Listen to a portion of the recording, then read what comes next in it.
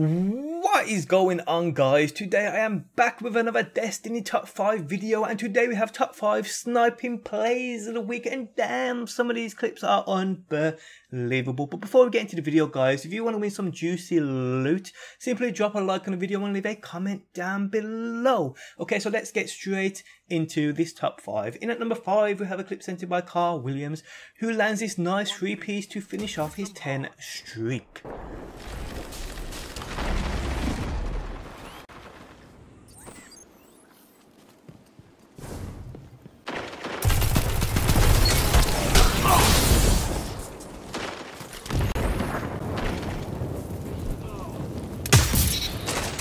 For one. Triple down.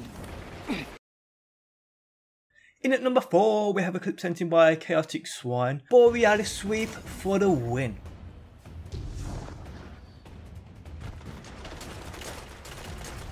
You made that look easy, Warlock.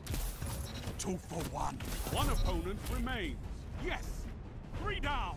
Was that all of them? That was all of them. In at number 3, we have a clip sent in by Xylo.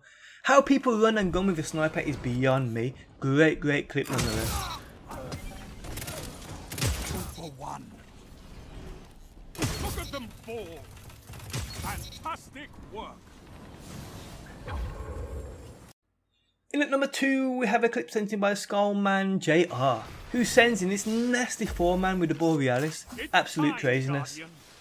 Crush them. Three minutes. It's close.